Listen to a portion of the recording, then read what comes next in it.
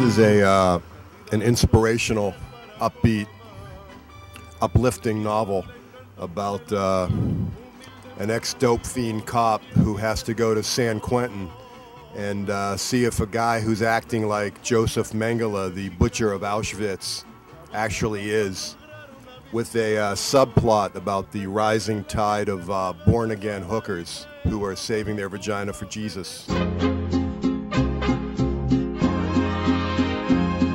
So the whole uh, the whole born again hookers thing is pretty interesting. Do you think that's uh, something we'll be seeing more of in the future? Maybe like BibleHumpers.com, anything like that?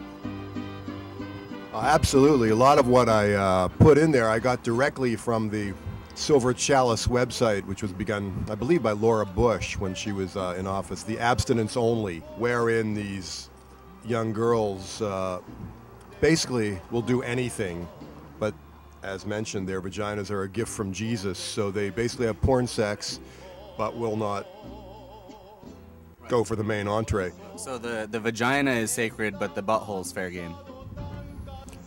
Which does not necessarily make it less sacred, but it's definitely fair game. I guess that's a matter of opinion. Where does the, the fascination with uh, Joseph Mengele come from? This isn't the, the first time that you've kind of like centered on a character from history. You had a book previously uh, uh, about Fatty Arbuckle. Um, quite a different character that you've selected to go with this time. Like, what was it about about him that kind of like, I don't know, kindled your imagination there?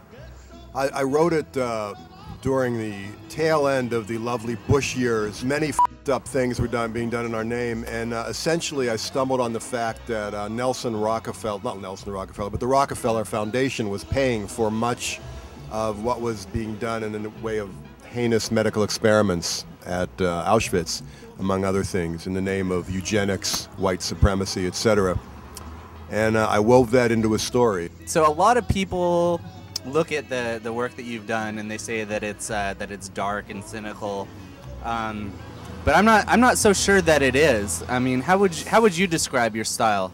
I'm always uh, amazed when people say, "Jesus, how can you write such dark material?" I mean, if you want dark, I mean, read the New York Times. You know, I'm sort of a puppy dogs and buttercups kind of guy, but uh, some people think it's dark. I read that after college, you spent some time living in a cave or something like that in Crete, and uh, I think uh, we'd all like to know: is it difficult to find tacos there? Um, yeah, the taco situation is just brutal over there. That's that's why I left the cave. Essentially, I just had that craving for burritos. Was it difficult at all, like writing about the uh, the addiction and stuff like that? I know we kind of touched on this before, but does it ever become like sort of uh, where it where it kind of creates like a, a, desire to to go back into that? When I wrote Permanent Midnight. Uh, I sort of relapsed in the middle of writing the book about getting off of heroin, which was a, a problem at the time, but uh, it was fine. That was 15 years ago.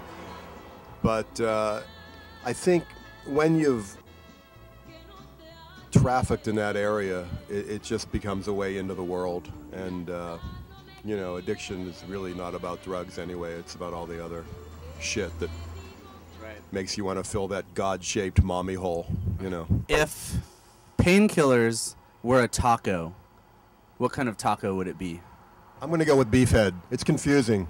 It's big, it stares at you while you eat it, and as you're digesting, you can hear distant screams. And I think that's kind of what my book brings to mind.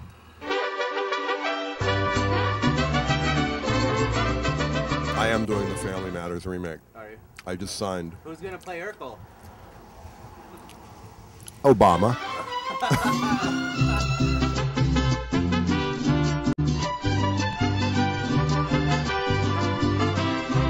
Ya llegó tu enamorado, al que nunca corresponde, ya llegó hasta la ventana donde siempre tú lo escuchas.